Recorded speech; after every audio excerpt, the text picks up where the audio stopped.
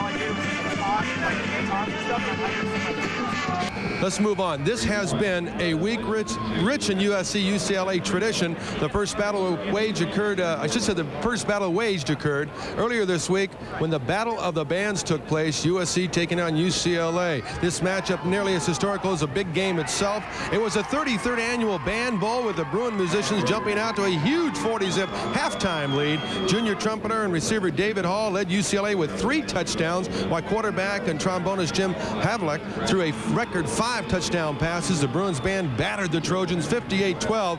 UCLA can only dream about a score like that when they meet USC tomorrow afternoon at the Rose Bowl. I'm still telling you, Jerry, I'm not going to pick a winner in this one just yet.